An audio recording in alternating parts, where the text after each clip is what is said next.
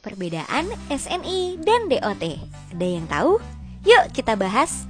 SNI adalah standar nasional Indonesia yang dikeluarkan oleh Badan Standarisasi Nasional. Untuk dapat sertifikasi SNI, helm half face batoknya harus melindungi telinga dan juga leher.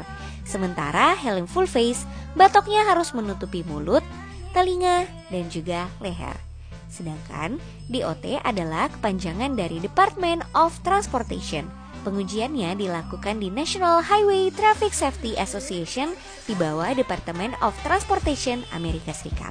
Tapi, meski helm yang sudah berstandar DOT tapi tidak mempunyai SNI, tetap saja tidak bisa dipakai di Indonesia karena standar Indonesia memang SNI. Berikut beberapa contoh helm yang sudah DOT dan juga sudah SNI.